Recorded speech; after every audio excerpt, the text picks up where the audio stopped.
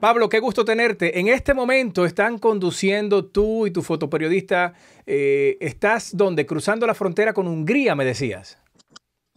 Así es, estamos este, desde hace unos 15 minutos que entramos a, Hungría. Eh, venimos manejando de Eslovaquia a Hungría en este momento. Esto es historia. Estamos en Europa, estamos en Estados Unidos, Norteamérica, y hablar justamente de, esto, ¿no? El impacto. Eh, voy a colocar las imágenes, ¿no? De lo que hemos visto en algunos, eh, publicaciones en Europa sobre la victoria de Donald Trump, en donde vemos a la, torre de la, eh, la Estatua de la Libertad con imágenes muy gráficas y posiblemente atentando contra su propia vida. ¿Eso es lo que está viendo Europa de Estados Unidos en este momento? Te voy a decir, la, la, hay, dependiendo de qué parte de, Europa, eh, en qué país estés, eh, bueno, esta, esta elección ha, ha, dejado huella, ¿no? Eh, como te decía, estamos entrando Hungría. Hungría es uno de los países que desde un principio ha apoyado la candidatura del presidente Donald Trump. El primer ministro, es más, estuvo en Maralago este, visitando al presidente, el presidente electo Trump, eh, su personal eh, eh, de, oficina aquí, de, del, primer ministro, han estado y tienen, este, tienen contacto directo con su oficina. Entonces, por parte de Hungría, para ellos, pues eso es lo que han estado esperando, ¿no? Pero si vemos países como Francia, si vemos otros países como eh, Alemania, eh, el sentimiento es completamente distinto. Eh, en general, ellos tienen aún pues el recuerdo de, de, la presidencia de Donald Trump en el 2016, las amenazas de retirar a los Estados Unidos o disminuir las contribuciones de Estados Unidos a lo que es la OTAN. Entonces, eso es lo que eh, ha generado demasiado nerviosismo, ¿no? Si recordamos la situación política, geopolítica en el 2016 es completamente distinta a la que se vive en este momento. Eh, se están peleando varios conflictos a nivel mundial, uno aquí muy cerca, en, Ucrania, eh, tenemos la, la, situación en Palestina. Entonces el mundo es ahora más peligroso, el mundo es eh, en este momento mucho más volátil y esa ha sido la preocupación desde, desde el primer momento cuando, se, cuando el presidente, uh, expresidente y ahora presidente electo Donald Trump uh, anunció que iba a, a buscar este, reelegirse. Tú como periodista eh, que has tenido todas las experiencias del mundo en Estados Unidos, de aquí emigraste a Europa y estás haciendo un trabajo maravilloso y cubres en tantos países que me imagino que a veces te, preguntas dónde estoy hoy, dónde me desperté. Eh, y eso te, ha permitido tener el termómetro como corresponsal de diferentes estaciones eh, de noticias en Europa, tener el termómetro de cómo se ve según el país, como tú mencionas, Hungría una cosa, en Francia otra, eh, Alemania es otra, posiblemente más parecido a lo que ve Francia. Pero si fuéramos a hablar a nivel general, ¿cómo ves tú, o cómo has sentido tú que Europa está viendo no solamente el triunfo de Trump, sino el futuro inmediato de las relaciones con Estados Unidos? Eh, con mucha cautela. Estuve yo hablando con uno de, eh, de los líderes en el Parlamento Europeo hace poco y una pregunta que le hice fue, eh, ¿está Europa preparada para defenderse sin la asistencia de los Estados Unidos? Y él lo que me dijo es, estamos mejor preparados en este momento que en el 2016, pero no podemos continuar depositando la seguridad del continente en las manos de votantes en Iowa o en Kansas o en Illinois o en Nueva Jersey. Es, Europa tiene que poder defenderse y eso es lo que en este momento no está, no está preparada a hacerlo. hace, desde hace varios años se ha venido eh, eh, hablando sobre la creación de un ejército europeo, un, ejército que, que pueda defenderse de cualquier amenaza y por algún tiempo ese, esa, ese debate se suspendió, pero ahora se está retomando. Una cosa es ser parte de la OTAN, la otra cosa es tener un ejército europeo que esté eh, listo para, para, para, proteger los intereses del continente. Estamos hablando eh, em, de que la Unión Europea eh, es uno de los socios principales de los Estados Unidos, económicamente hablando. Y a Estados Unidos es el socio principal de la Unión Europea. Es una relación económica que no solamente afecta a la gente que vive aquí en Europa, sino también a aquellos que viven en Iowa, en Kansas y en Nueva Jersey. En Pensilvania, eh, en, en, Arizona, en Nevada, donde se definieron estas elecciones, a, a miles de millas de distancia de cualquier país de Europa o de la Unión Europea incluso. Eh, Rafa, eso es algo que eh, yo estaba viendo eh, los, este, las diferentes encuestas que estaban saliendo de Estados Unidos de, votantes cuando, cuando cerraron las urnas, ¿no? Y, ves que los temas principales para ellos eran la economía, era la democracia, dependiendo de qué partido, era, este, ¿cómo se llama?, la inmigración, uh, y, muy abajo está la política exterior. Eh, y una de las situaciones que existen es que tal vez fue aquí la falla del Partido Demócrata en conectar la importancia de la política exterior ligado a la política económica interna de los Estados Unidos. Porque no estamos hablando de un mundo desconectado, Estamos hablando de un mundo completamente eh, conectado. Es, una, eh, eh, es una telaraña de, transacciones fiscales y, dependen de ello. Entonces, si, decimos que los votantes en Estados Unidos pensaron primero en, en sus salarios, en la economía, en el poder tener un trabajo que les pague bien, se olvidaron de que dependen de otros países para que eso pueda suceder. Y a veces es que ni siquiera lo entienden y no los juzgamos, porque no todo el mundo está todos los días consumiendo contenido de geopolítica, de política internacional, relaciones internacionales. O sea, no es un tema sexy. No es un tema, tema sexy sí es eh, lo que está pasando con, con Israel y, el resto de esa parte del Oriente Medio en donde hay un conflicto que no sabemos cómo va a parar pero es sexy decirlo, voy a detener mañana. Eh, no es un tema sexy hablar de, Ucrania y su defensa. Ustedes que están en Europa y la Unión Europea está del lado de Ucrania, más sí es sexy decir, voy a detener la guerra en el primer día cuando llegue al gobierno. Entonces, eh, y ahí termina el tema.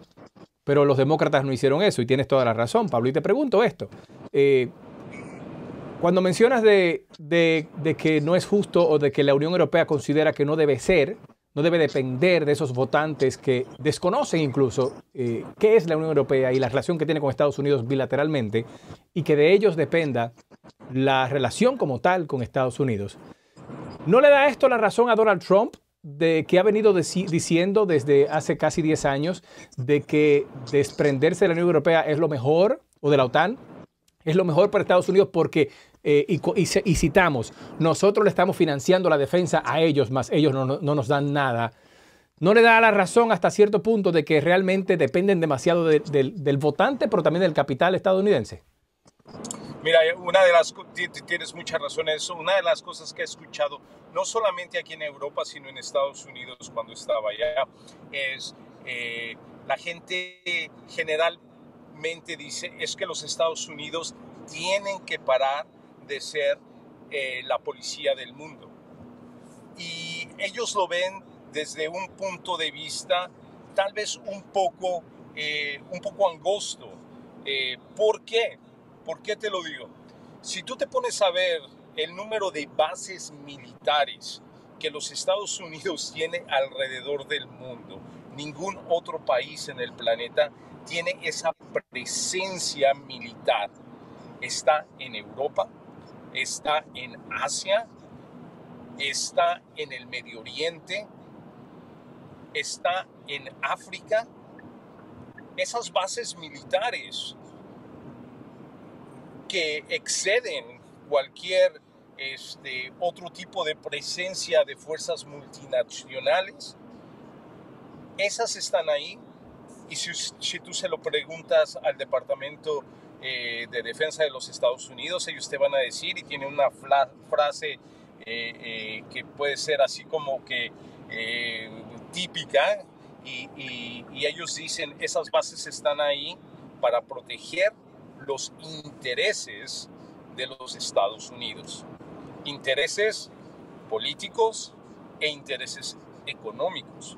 En otras palabras, no es gratis. No es gratis el ser parte de y tener esas alianzas como con Ucrania, no es gratis, es una inversión que está haciendo Estados Unidos con todo lo que tiene Ucrania para ofrecer en términos de fósiles, minerales, de energía. O sea, Ucrania no es un desierto. Ucrania tiene sus poderes económicos y Estados Unidos está apostando a ellos. Corrígeme tú que eres especialista en el tema de Europa. Eh, tienes mucha razón, o sea, si tú ves dónde están los depósitos eh, de petróleo de Ucrania, están en la frontera con Rusia, están en lo que es uh, Crimea, están, es más, cerca, descubrieron nuevos depósitos cerca de la frontera con Eslovaquia. Entonces, eh, hay un estudio que sacó la Universidad de Harvard en el 2014. En el 2014 tú tenías a todas las empresas extranjeras de petróleos en Ucrania y las tenías ahí porque el país no tenía suficiente dinero para extraer ese petróleo. Tenías a Amaco, tenías a este, BP, tenías a diferentes compañías ahí. Y ellos se iban a llevar, llevar una tajada de, esos, de, de, ese petróleo. Eh, Rusia declara eh, o, interviene y le quita la península de, Crimea a, a, a, Ucrania y este y entonces en ese momento todas esas compañías multinacionales se van. El estudio que hizo la Universidad de Harvard en ese momento dijo, el número un, un número uno proveedor de petróleo a la Unión Europea es Rusia. Y si Ucrania logra sacar esos recursos, perdón, ellos serían el proveedor número dos. Rusia es un petroestado. Ucrania es la competencia. Y es una potencia en, como diría, un diamante en bruto, porque se convertiría en una competencia. Y si lo extrapolamos a América Latina, eh, y uso un ejemplo de tu país eh, natal, México, ¿qué hizo Carlos Slim para convertir en la compañía de telecomunicaciones más grande del mundo en la más grande del mundo? Empezó a comprar la competencia. En este caso, Rusia está tratando de invadir la competencia y quedarse con esos territorios muy cercanos a ellos de petróleo para entonces no tener competencia. ¿No es así? Eh, exactamente. Es eh, en este momento, o sea, la, gran pregunta es eh, cómo es que con tantas restricciones, con tantas trabas que le ha puesto la Unión Europea a Rusia y, que le ha puesto Estados Unidos a Rusia, cómo es que la, economía rusa continúa eh, eh, trabajando, ¿no? Y es muy fácil, están vendiendo el petróleo que antes le vendían a la Unión Europea, a Irán, a China, a precios, precios regalados, ¿no? Entonces están continuando teniendo esos fondos.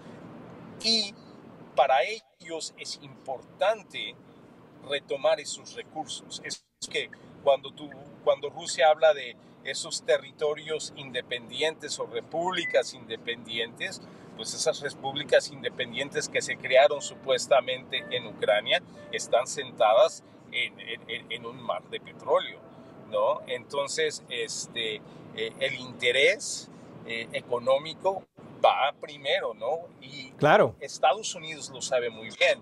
Estados Unidos sabe lo que hay en Ucrania. Y, te digo algo, Pablo. Eh, Ucrania hoy es el Golfo Pérsico de cuando Clinton o de cuando Bush padre.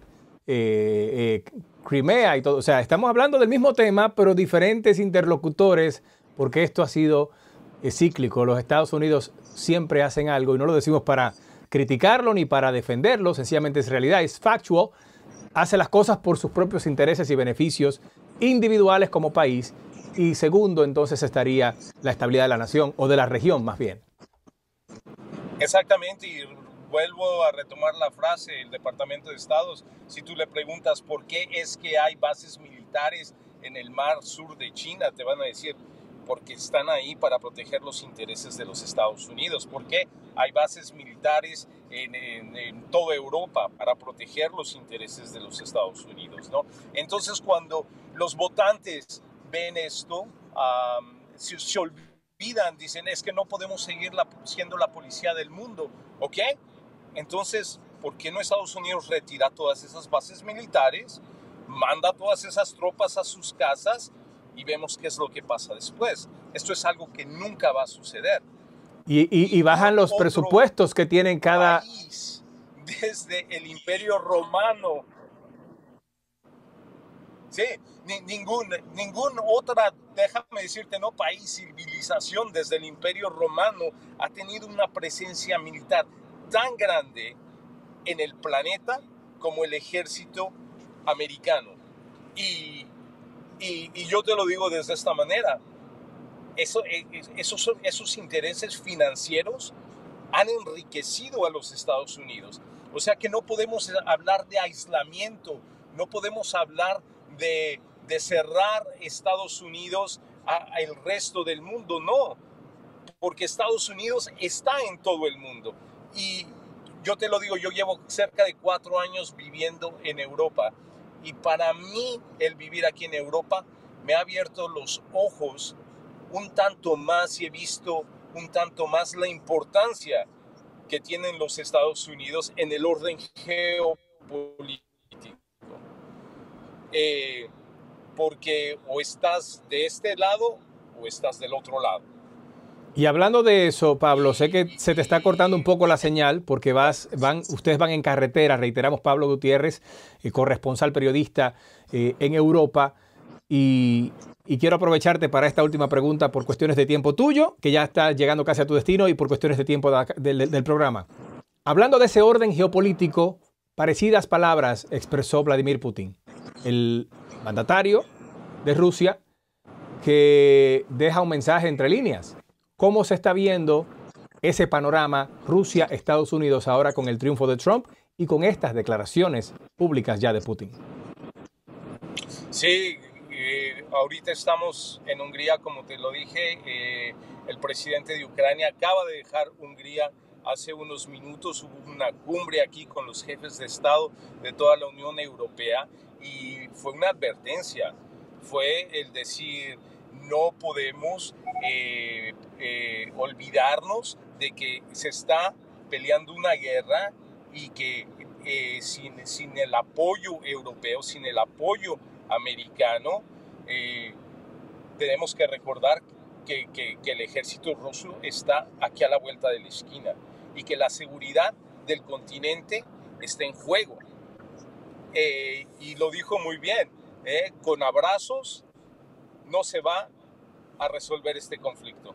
Con abrazos a Putin no se va a eh, resolver este conflicto. Y sin duda alguna, apenas está empezando. No es hasta el 20 de enero que realmente empezarán las primeras órdenes ejecutivas y los primeros lineamientos de la administración Trump. Y pues ya desde ahora estamos en preaviso. Pablo Gutiérrez, espero que este sea el primero de los muchos encuentros que tengamos para traer estos temas que son poco sexy, pero muy ilustrativos, que esperamos que sean de, interés eh, y de esclarecimiento para una audiencia que me parece que tanto lo necesita. Muchas gracias, Rafa. Un abrazo y un saludo desde, desde este punto en Europa. Un abrazo hasta allá.